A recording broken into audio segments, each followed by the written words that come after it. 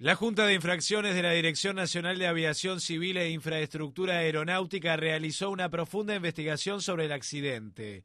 Se interrogó a los directores de la empresa, a pilotos y expilotos de Airclass, a testigos, a funcionarios del aeropuerto, a inspectores de aviación civil y a los encargados del mantenimiento de los aviones. La investigación concluyó que existen irregularidades que ameritan graves sanciones para la empresa, para los pilotos actuales de la compañía, para dos inspectores civiles de la Encargados de controlar Airclass y para mecánicos de los talleres que realizaban el mantenimiento de los aviones. Según supo subrayado, la empresa Airclass ya fue notificada de las sanciones. Asimismo, los investigadores notificaron de multas económicas para pilotos de Airclass que incumplían con el reglamento aeronáutico. Además, se decidió aplicar multas para talleres aeronáuticos que debían realizar el correcto mantenimiento de los aviones, entre ellos el que se estrelló, y se ordenaron sumarios administrativos para dos inspectores civiles de la aviación encargados de controlar a la empresa. Todos los implicados tienen 10 días para hacer sus descargas cargos.